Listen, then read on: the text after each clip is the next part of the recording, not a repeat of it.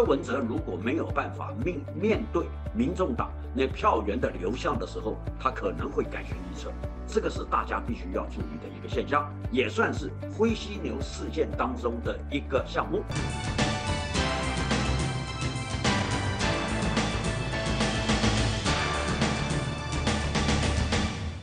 各位观众，大家好，我是有话直说的主讲人张友华。马英九搭桥，王金平劝解。让柯文哲回心转意，那其中还有一个人是反对的，就是太后讲话了。所谓的太后就是柯文哲的妈妈。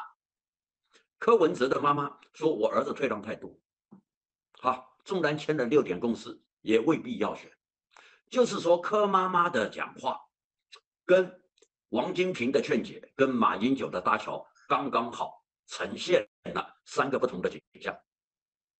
马英九搭桥是绝对不讲侯科科侯，就是依实力原则来决定一切。王金平的劝解对柯文哲是有影响。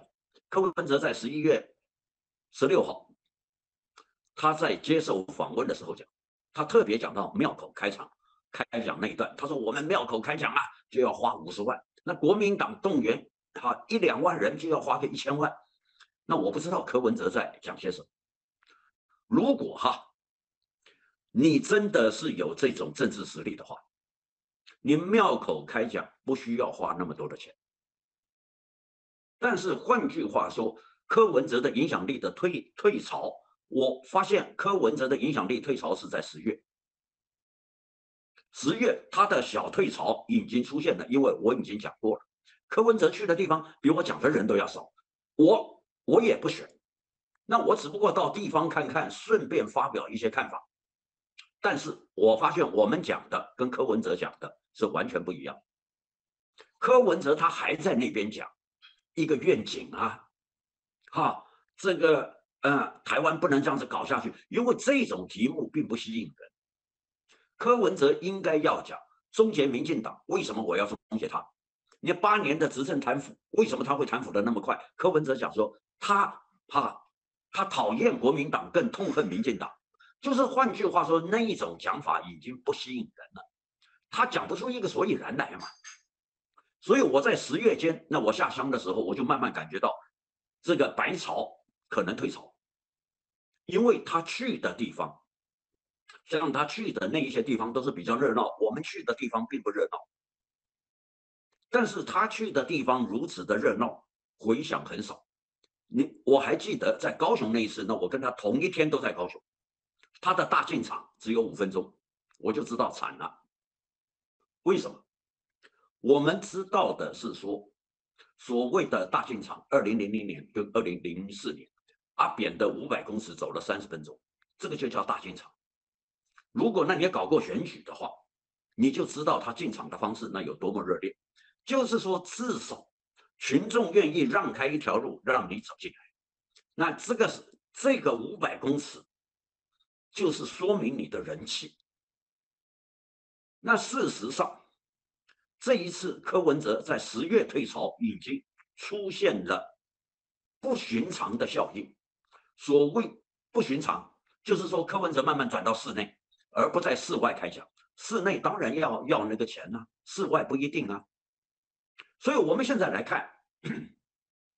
为什么马英九搭桥，他有一个下台阶？你王金平劝解说，你至少要筹备二十亿，不然的话，搞不好要到一百亿。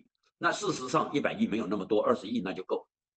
啊，因为今年经济不景气，民进党的募款、国民党的募款跟柯文哲的募款不如预期。小额募款是可以，可是真正的子弹不是靠小额募款，小额募款是看人气。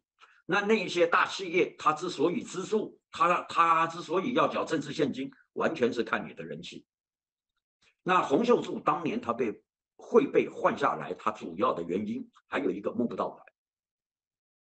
所以我们现在已经可以看得到这一些现象的出现。那偏偏有三个人都在讲话，你马英九搭桥，给柯文哲有一个台阶下。虽然柯文哲讲说他被突袭，那些都是另外一回事。但是马英九搭桥以后，柯文哲要不要下轿？这个这个才是重点嘛。那第二个，王金平的劝解，王。王金平确实他点出了选举经费、竞选总部架构，那更重要地方动员基础，这个是一个胜选的基本的能量。如果柯文哲都做不到的话，那他怎么选？那况且柯文哲的区域立委提名十一席，这十一席都是自己去筹钱，各位就知道了吧？就是说，民众党其实没有那么多的钱，虽然他有金主，但是那个金主都是小型金主。好，再回过头来，柯妈妈讲，既然你要当副手的话，那你可以不选。哎，这个是一个变数啊，搞不好十一月十八号说侯科配，那柯文哲说，那我当时我也讲过，愿赌服输，输的退选，我推荐一个副手，这个不能排除。所以我们看到这三个讲不一样的话。